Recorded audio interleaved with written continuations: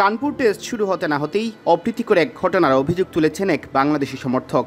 বাংলাদেশ থেকে খেলা দেখতে যাওয়া টাইগার সমর্থক রবির ওপর নাকি আক্রমণ করেছেন ভারতের কয়েকজন উগ্র সমর্থক। রবির দাবি অনুযায়ী তাতে তিনি আহত হয়ে পড়েন। এরপর তাকে চিকিৎসা সেবা দিয়েছে স্থানীয় প্রশাসন ও স্টেডিয়াম কর্তৃপক্ষ।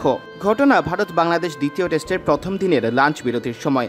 বাঘের বেশি গ্যালারিতে বসে খেলা দেখছিলেন রবি। এ সময় কথা বলার এক পর্যায়ে ভারতের সমর্থকরা তার উপর আক্রমণ করে বসেন বলে রবির অভিযোগ। প্রহারের এক পর্যায়ে আহত হলে তিনি হাঁপাতে থাকেন। এই সময় রবিকে উদ্ধার করে গ্রিন পার্ক স্টেডিয়ামের মেডিকেল রুমে নিয়ে যান আইন শৃঙ্খলা রক্ষাকারী বাহিনীর সদস্য ও স্বেচ্ছাসেবীরা। এর আগে চেন্নাইয়ের প্রথম টেস্টের সময় ভারতীয়দের উগ্র আচরণের অভিযোগ তুলেছিলেন রবি। তার দাবি ছিল, বাংলাদেশের সমর্থক হয় রবিকে দেখলে তেড়ে আসেন ভারতীয়রা।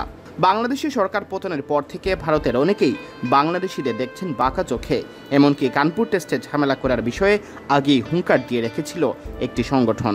বাংলাদেশবাসী, আল্লাহর কাছে দোয়া করেন, জানো, এই জয়টা নিয়ে ফিরতে পারলে আমার কোনো দুঃখ কষ্ট থাকবে না। মায়ের খাইলেও কোনো দুঃখ থাকবে না।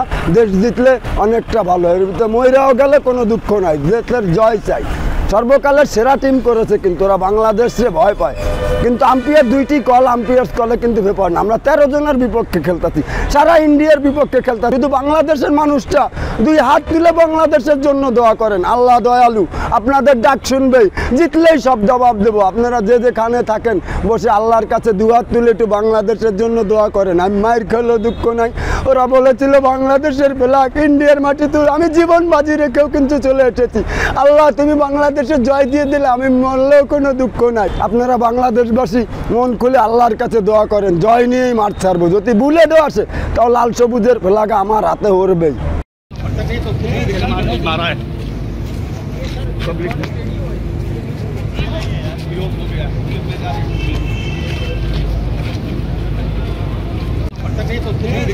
मारा है पब्लिक ने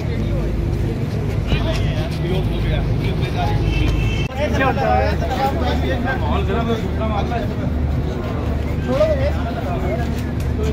सीधा खड़े हो खड़े हो तो नहीं पहले आए अरे तुम आगे से हटो ना चल के आया